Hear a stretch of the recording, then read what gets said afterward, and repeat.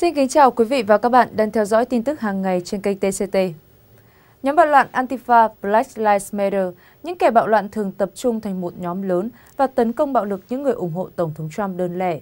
Nhưng nay, những kẻ bạo loạn này đã nhận được sự đáp trả.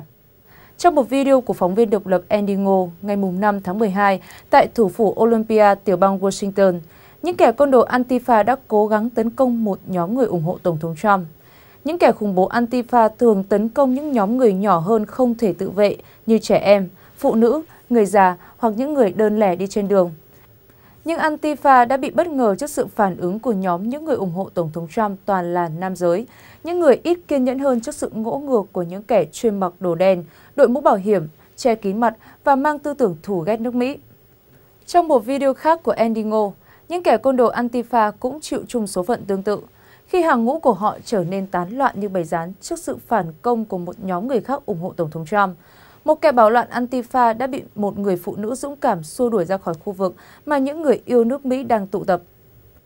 Cũng tại một sự kiện ở Portland, bang Oregon vừa qua, Antifa đã liên tiếp nhận sự ê chề khi tấn công một nhóm người dân mang theo quốc kỳ Mỹ và đã bị họ nổi giận phản công. Cuối cùng xảy ra một cuộc ẩu đả và những gì xảy ra với Antifa chắc chắn sẽ khiến những ông trùm đứng đằng sau tài trợ cho nhóm bạo loạn khủng bố này phải thất vọng. Và thông tin vừa rồi cũng đã khép lại bản tin ngày hôm nay của TCT. Cảm ơn quý vị đã quan tâm theo dõi.